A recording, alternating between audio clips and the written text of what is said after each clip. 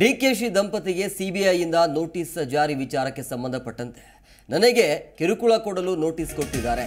ರಾಜಕೀಯವಾಗಿ ನನ್ನನ್ನು ಮುಗಿಸಲು ಷಡ್ಯಂತ್ರ ನಡೀತಾ ಇದೆ. ಬಿಜೆಪಿ ನಾಯಕರಿಂದ ನನ್ನ ವಿರುದ್ಧ ಷಡ್ಯಂತ್ರ ಇದು ಅಂತ ಸಿಬಿಐ ವಿರುದ್ಧ ಡಿಸಿಎಂ ಡಿಕೆ ಶಿವಕುಮಾರ್ ಆಕ್ರೋಶವನ್ನ ಹೊರಹಾಕಿದ್ದಾರೆ.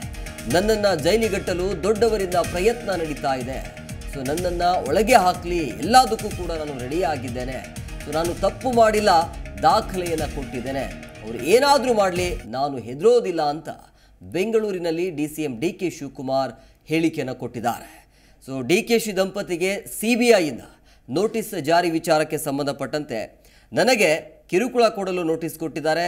ಸೊ ಇದಕ್ಕೆಲ್ಲದಕ್ಕೂ ಎಷ್ಟೇ ನೋಟಿಸ್ ಕೊಟ್ಟರು ಯಾವುದಕ್ಕೂ ಕೂಡ ನಾನು ಹೆದರಲಿಕ್ಕೆ ಹೋಗೋದಿಲ್ಲ, ಹೆದರೋದಿಲ್ಲ ಅಂತೇಳಿ. ರಾಜಕೀಯವಾಗಿ ನನ್ನನ್ನು ಮುಗಿಸಲು ಷಡ್ಯಂತ್ರ ಇದು.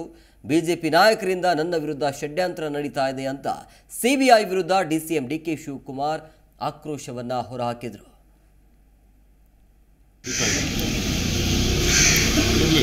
ನನಗೆ ನಾನೇನು ತಪ್ಪು ಮಾಡಿಲ್ಲ. ಅವ್ರು ಏನು ಬೇಕಾದ್ರೂ ಇನ್ಸ್ಪೈರಿಂಗ್ ಮಾಡಿಕೊಳ್ಳಿ.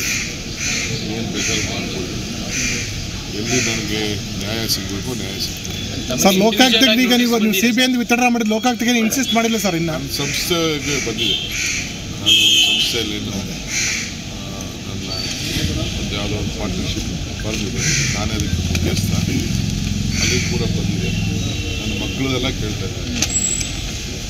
ನನ್ನ ಮಕ್ಕಳು ನನ್ನ ಹೆಂಡತಿ ನನ್ನ ಕುಟುಂಬದವರು ನನ್ನ ಸಂಬಂಧದವರೆಲ್ಲ ಕೂಡ ಕೇಳ್ತಾ ಇದ್ದಾರೆ ನಮ್ಮೂರು ನಮ್ಮ ಯಾವ್ದಾದ್ರು ಸೊಸೈಟಿಗೆ ಡೈರೆಕ್ಟ್ ಆಗಿದ್ದರೆ ಅವ್ರಿಗೆಲ್ಲ ಎಲ್ಲ ಕೇಳ್ತಾ ಇದ್ದಾರೆ ಸಿ ಬಿ ಐ ಸರ್ ಈಗ ಸರ್ ನಮ್ಗೆ ವೈಯಕ್ತಿಕವಾಗಿ ಬಂದಿಲ್ಲ ಸಂಸ್ಥೆ ಮೂಲಕ ಬಂದಿದ್ದು ತಪ್ಪು. ಅದೆಲ್ಲ ಮುಗಿಸ್ಕೊಂಡು ಬರ್ತಾರೆ ವೈಯಕ್ತಿಕವಾಗೂ ಬರ್ತಾರೆ. ಅವ್ರು.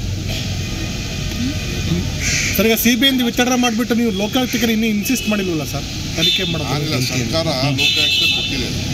ನಾನಲ್ಲ. ನಾನು ಇನ್ಸಿಸ್ಟು ಮಾಡಿಲ್ಲ ನಾನು ಕೇಳಿದ್ದೀನಿ.